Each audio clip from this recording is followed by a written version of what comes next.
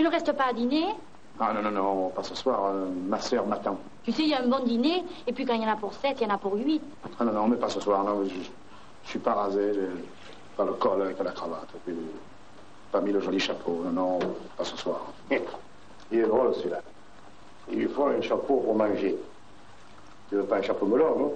Et puis c'est la fête de Patricia aujourd'hui. Oui, bien sûr. Si, si, si elle me disait de rester, ça, je resterai, ça, bien sûr. Seulement, elle ne me le dit pas. Mais oui, je vous le dis. On va vite mettre un couvert de plus. Amanda, mets un couvert de plus. Ah ben alors merci, vous savez, alors, alors, alors j'accepte. Non, parce que c'est- si vous m'invitez, ça, ça, ça c'est de bon cœur. C'est, c'est, c'est de très bon cœur. Ça, ça faut. Je, je vais me laver les mains.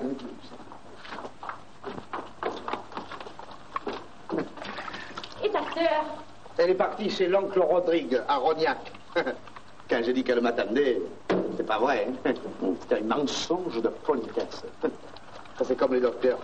Quand il dit un bon vieux qui va mourir, qu'il a déjà les bouches sur l'œil, ils disent comme ça. Grand-père, vous en avez encore au moins pour 20 ans. C'est de la politesse. Hein Parle un peu du chapeau. Chapeau? Chapeau de Patricia. Chapeau, monsieur. Dis, mais toi, tu es délicat, alors pourquoi tu voulais mettre un chapeau pour manger? Ah, ce n'était pas pour manger, c'était pour entrer. Quand c'est la fête de quelqu'un, on met le chapeau.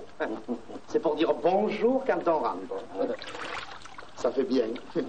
Les chapeaux des hommes, personne ne les remarque. hein? Ah, les chapeaux des hommes, non, mais les chapeaux des femmes, ça se remarque, ça. Surtout quand sur ces chapeaux, il y a des fleurs et des oiseaux. Mais ça coûte cher, hein? Et voilà